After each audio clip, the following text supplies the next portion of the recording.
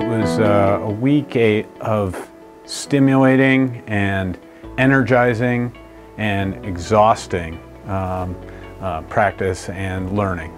It was, I2A was great in that it put us, put a bunch of entrepreneurs in a room together and first off we saw that we weren't alone.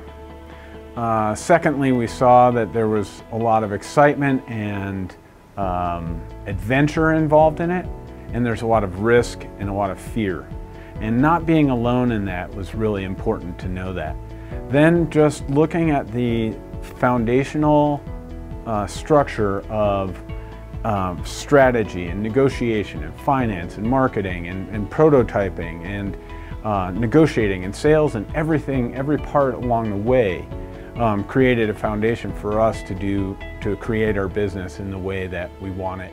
One of the major takeaways for me was in the legal uh, pieces of, of starting a business and setting really strong partnership agreements at the beginning.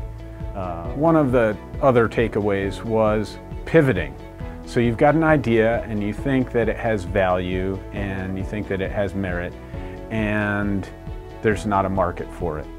But maybe there's a market for uh, something else that you hadn't considered along with the business that you're that you're starting out. So diversity of the of the classroom of the students was terrific because we saw everybody from from um, beginning uh, through seasoned entrepreneurs and and then learning from uh, the experienced professionals as well as some of the volunteers who came in, some of the angel investors and, and um, the mentors uh, really helped build a strong foundation.